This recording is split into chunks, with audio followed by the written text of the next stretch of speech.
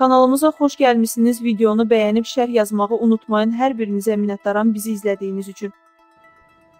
2024-cü ildə Azərbaycanda əhalinin nominal gəlirləri 84,1 milyard manat, nominal xərcləri isə 81,4 milyard manat proqnozlaşdırılıb. Bu isə 2023-cü illə müqayisədə müvafiq olaraq 8,3 faiz və 8,6 faizdən çoxdur. Bu barədə Qafqazinfo Maliyyə Nazirliyinə istinadən xəbər verir.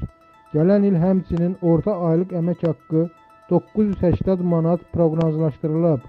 Bu isə 2023-cü il üzrə müəyyən edilən göstəricidən 5,4% çoxdur.